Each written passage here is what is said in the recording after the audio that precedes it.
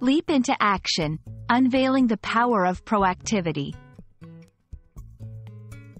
Hello, and welcome to our English language learning channel.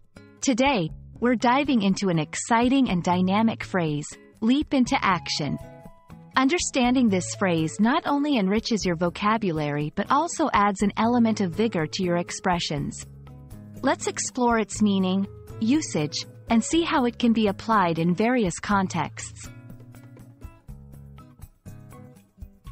Leap into action is a metaphorical expression used to describe someone starting to act suddenly and with enthusiasm or determination.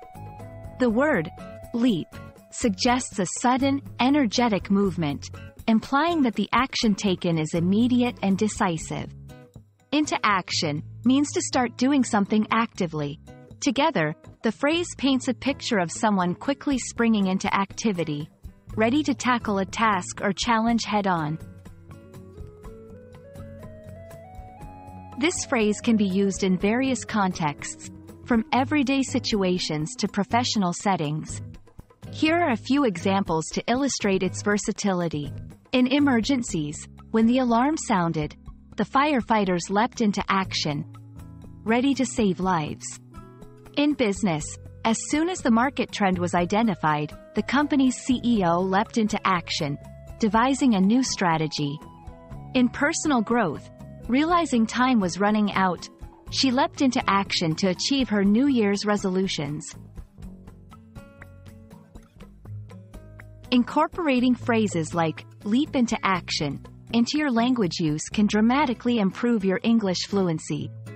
It shows a sophisticated grasp of the language and allows you to express ideas with more vividness and precision.